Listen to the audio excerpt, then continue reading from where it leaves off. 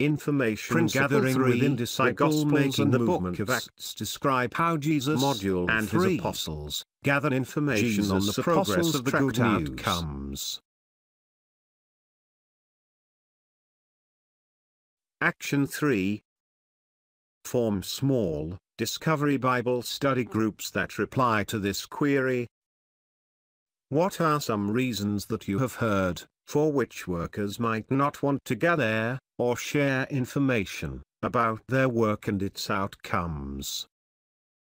After seven minutes, have each group's recorder report to everyone, the reasons that the group's members told.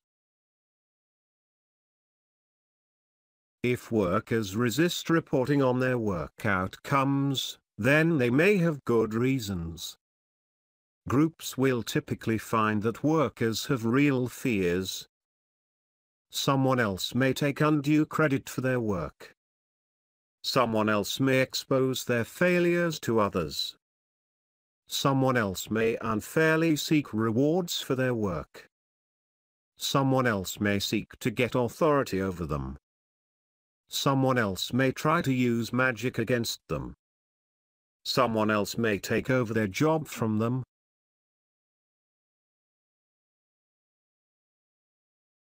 Training 3 Hold a small group, Discovery Bible Study. Assign to each small group some of the passages listed below, or others similar passages. Have them reply to this query. What kinds of information did Jesus' apostles and their co-workers gather and report to others?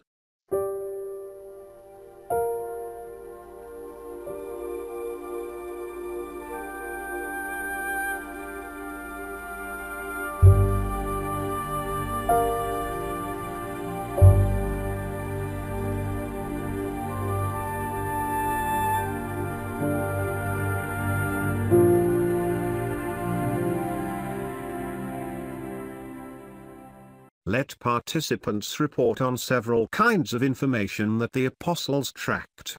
Afterwards, you may mention other kinds as well. Numbers of baptisms. Disciples added, increasing or multiplying. Numbers and locations of churches planted. Names of workers and team mates. Social classes reached cities and regions entered. Approximate dates. Persecution outbreaks and response. Hold a small group discussion. Have each small group discuss and reply to this query. Which kinds of apostolic tracking should you, and your co-workers, also do in your own ministry work? After seven minutes, let several individuals tell their thoughts. Conclusion 3 Church planters and new shepherds willingly gather information that they share with their coaches who love them